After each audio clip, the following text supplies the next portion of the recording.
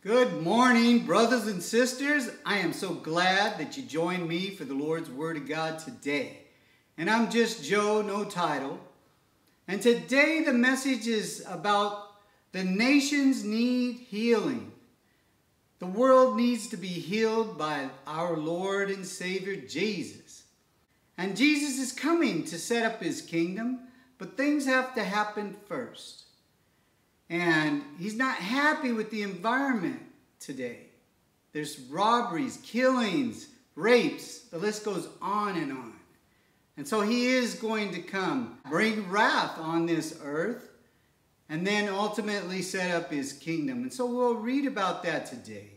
And so if you brought your Bibles, please turn to the book of Matthew chapter 24. And to lay the stage, the disciples are on Mount Olives with Jesus, and they ask him privately, What will be the sign of your coming and the end of the age? And reading from verse 7 For nations will rise up against nations, and kingdoms against kingdom. And there will be famines and pestilence and earthquakes in various places. All these are the beginning of sorrows.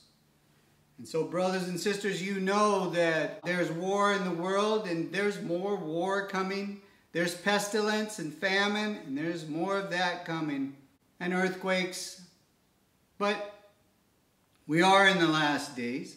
And so we'll continue reading from verse 12.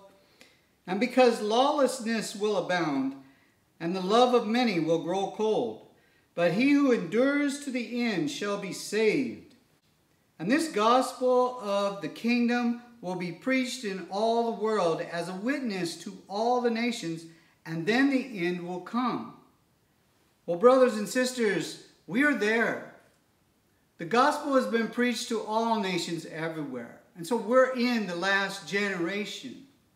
And the next part of this chapter talks about the great tribulation.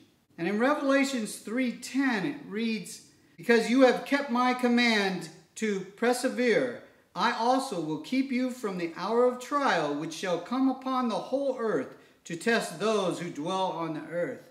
And so that's the great tribulation, brothers and sisters. And God's going to take up his virgin church before the great tribulation.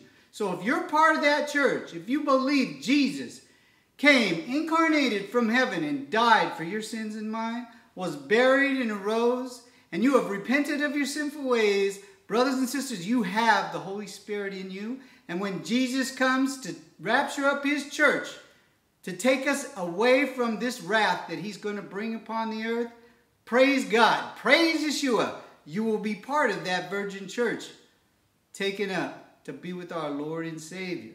But now let's keep reading. Starting in verse 21.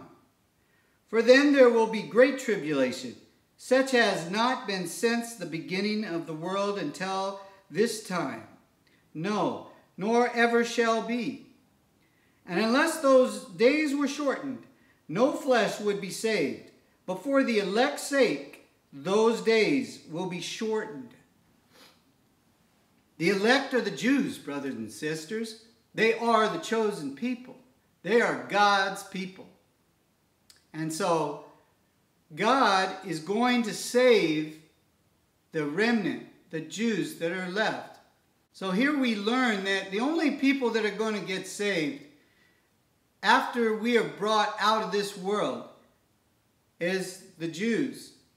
And there's a specific amount of Jews that the Lord tells us in Revelations. There's 144,000 Jews, 12,000 from each tribe that he is pre-selected from the foundation of the world. And he has told his angels, do not harm the earth and the things on the earth until you have marked on the foreheads those chosen Jews, 144,000. So if you're in Israel today, and those 144,000 are there today in Israel, God knows who you are. And he is going to preserve your life and protect you. He tells us in the book of Zechariah 14 that nations are going to move to fight Israel, but the Lord will save the remnant, and he will cause the mountain to split in two and take them to Azal. That mountain is Mount Olives. And so, brothers and sisters, if you're a Jew listening to this message, you want to give your life to Yeshua so that you will be preserved and be protected during that tribulation. God will protect you and you will be with our Lord and Savior when he sets up his kingdom here on the new earth. The next passage we will read is in the book of Second Peter chapter 3. And we'll start reading verse 10. But the day of the Lord will come as a thief in the night, in which the heavens will pass away with a great noise, and the elements will melt with fervent heat. Both the earth and the works that are in it will be burned up. Therefore, since all these things will be dissolved, what manner of person ought you be in holy conduct and godliness? Nevertheless, we, according to his promise, look for the new heavens and new earth in which righteousness dwells. Therefore, beloved, look forward to these things. Be diligent to be found by him in peace, without spot or blemish. Amen, brothers and sisters? Amen. And so we all need to be ready to meet our Maker face to face, whether we are Jew or Gentile.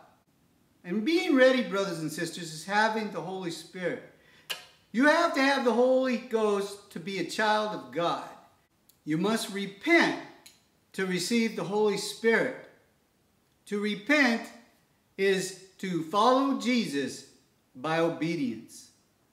And so, brothers and sisters, we all have to be ready to meet our Maker because He's going to burn up this earth with fire. And if you are not ready, you will burn up with them. And so, brothers and sisters, you must have faith to be healed to the things coming upon the earth.